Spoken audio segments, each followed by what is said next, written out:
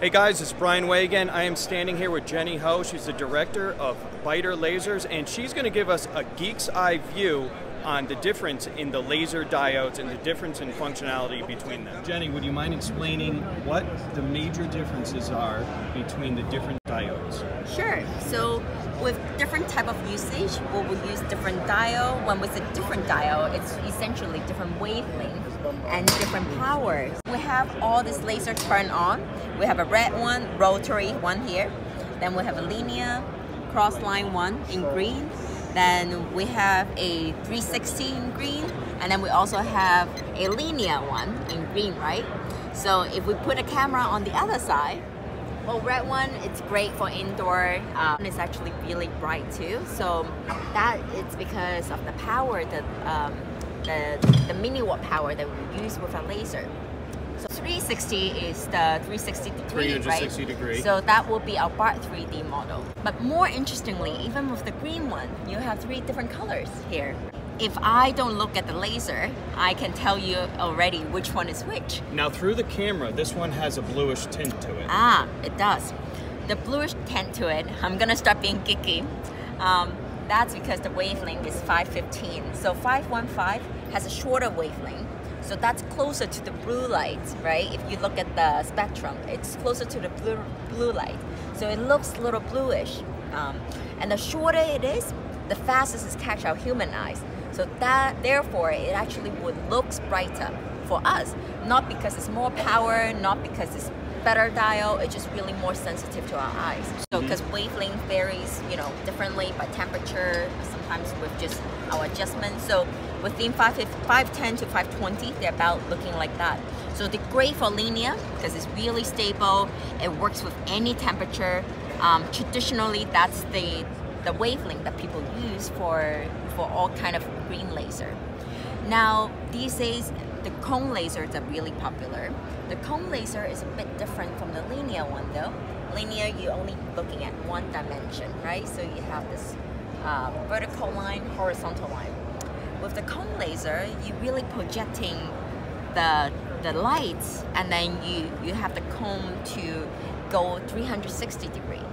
In that case, we want to find something that's as round as possible. So if you have a dial that's it's round in nature, that's actually going to give you a brighter line and more even line.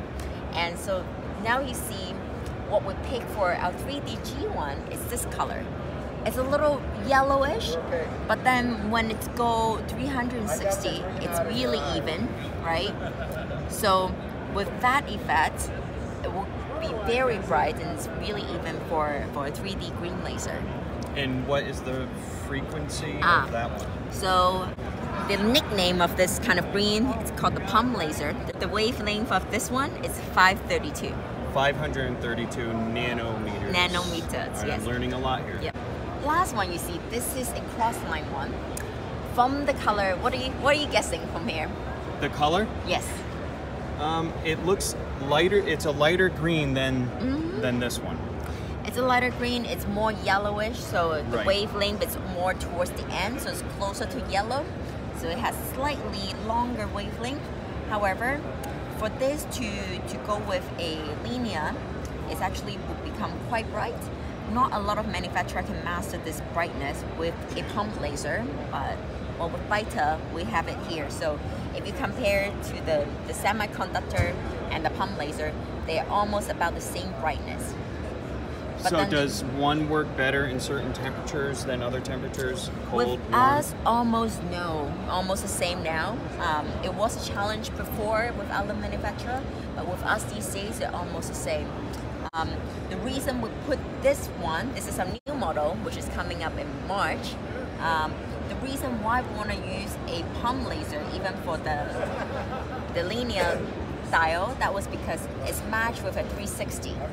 With a 360, we, we find out it's better with a pump green and we match it with a linear pump so that people can use the same receiver to pick up the same oh, I see. from from one machine because well I just mentioned different with different line has different wavelength so if you're not matching you know the receiver with the frequency it's not to pick it up so this is designed for the red one.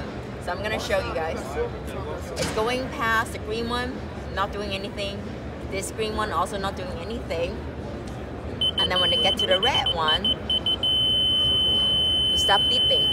So that's the case that when the receiver is really useful because when when it was the sunlight was so bright outside, you you can't see the, the laser anymore. In that case, a detector will be very useful, right? Makes perfect sense.